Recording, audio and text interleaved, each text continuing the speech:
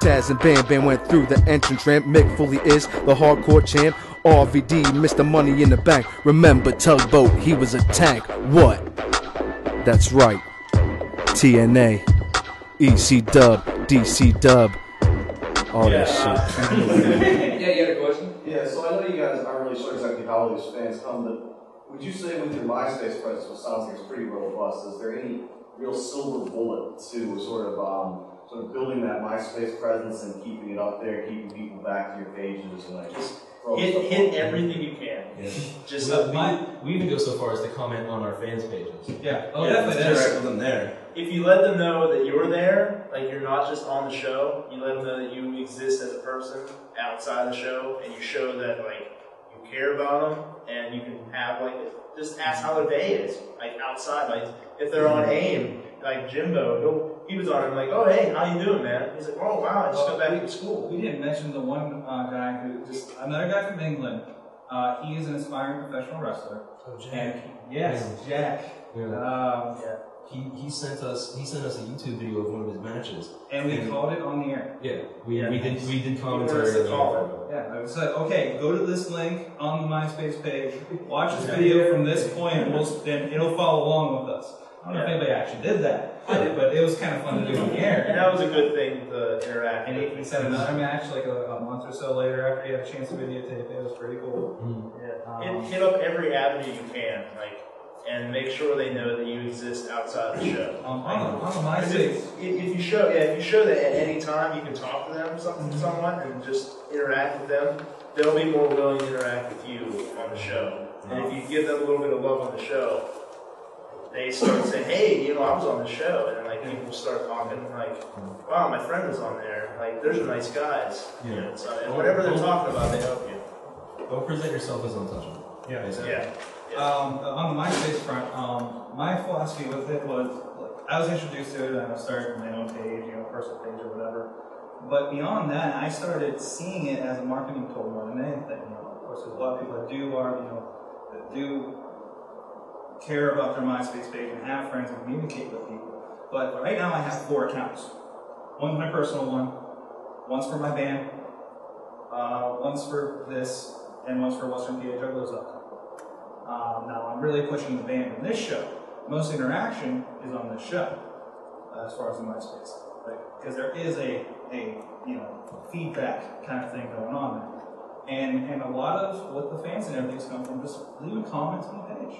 It, people come back and forth and left comments and, and, and say, hey, great show. It's like, hey, what'd you think about this on Raw or SmackDown or TNA or whatever? And you know, the video I think was even posted on YouTube. The Iron Sheik video. The infamous Iron Sheik video, they interviewed him and he was just the most most ridiculous interview.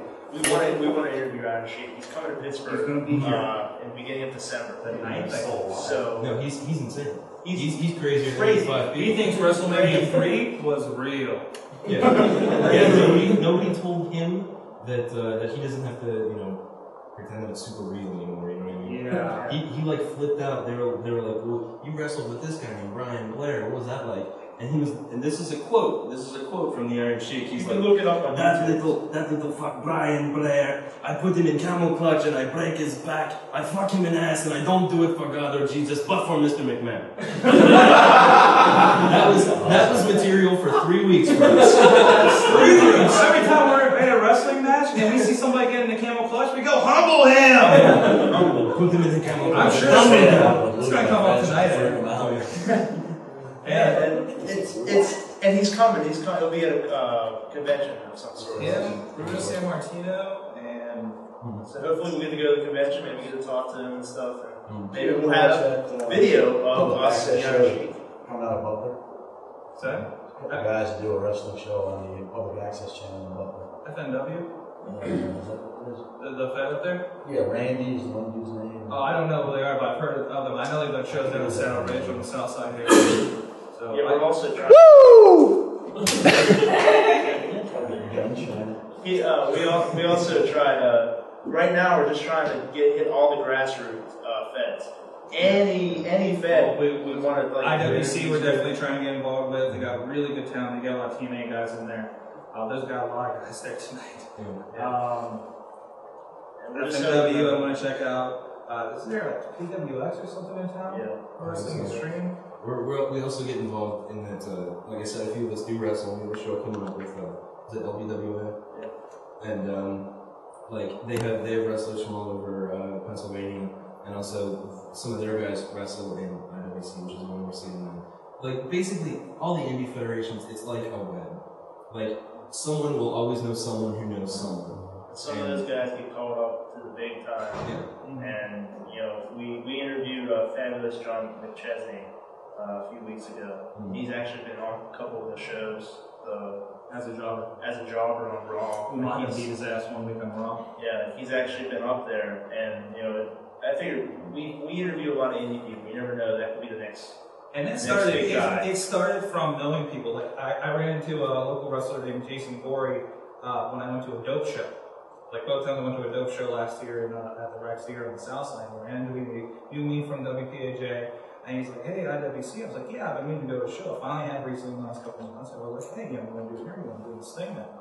And uh, from there, we, tag, we we interviewed his tag team partner, uh, Shima Xion, who was the uh, first male model of Filipino first supermodel. Filipino supermodel. Some ridiculous thing. Yeah. Good too. Mhm. And then Fabio John McChesney, he like you know was hanging out with them at the table. Plus, he knows a guy that works on WPAJ with me, um, up in here. So it's just like you know this whole connection thing. We're hoping to build up from there. You know, maybe eventually. like wrestling is a lot like podcasting. I mean, wrestling, that whole industry is built off, like he said, it's a web. Everybody's connected. With podcasting starting here, starting out in what was it, Boston, Boston, yeah. And now it's just going to be a web, and it's really going to be who knows who. Everybody knows this person, and just If you expands go, from there. because there's wrestling, there's always the big guys. They'll always be there, but there's always the little guys too, like the little feds and the little guys that are doing stuff in uh, gyms and uh, you know just social hawks that are really good, really good talent, and they put on a really good show. And we think that they also deserve notice, and we have better access to them than them. So if we showcase them, you know, they can move up, and if they get big, you know, they can still. If we, if we, you know, have a nice, nice, good conversation, make a good impression on them, they can always come back. And, and it helps them out because now they're, you know, they might be uh, wrestling here in like Ohio or Jersey or something like that, and they're getting on the national, you know, maybe somebody will hear about me over here, maybe a promoter will come to me, so that helps them out as far as that goes. And and and uh, aside from that, we're advantaged because we're in Pittsburgh, which has always been a hotbed for wrestling. It's always been a hotbed for wrestling. And we have three fans here. We usually get this over from Philadelphia. Philadelphia's a hell of a wrestling town. But uh, it was it was John McChesney, right? When we interviewed him, he just, he said he just got back from Europe doing a European tour. So I think he might have been Japanese first too. yeah. That's the rest of man,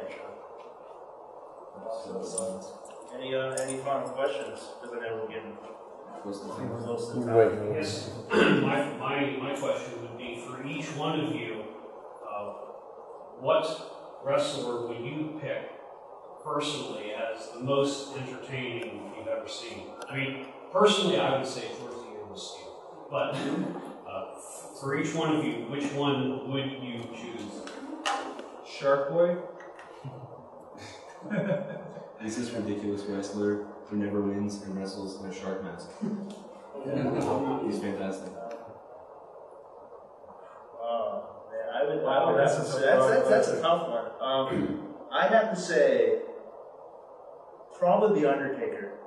He's probably, he's so imposing Yeah. as like, I mean, when, you see him live, it's nothing like, a, it's so, when his music hits and stuff, it's, you, get chills. And it, he really has been entertaining to watch. Especially he's been wrestling for like some 14, 15 years. And he's been entertaining all throughout his whole career. So.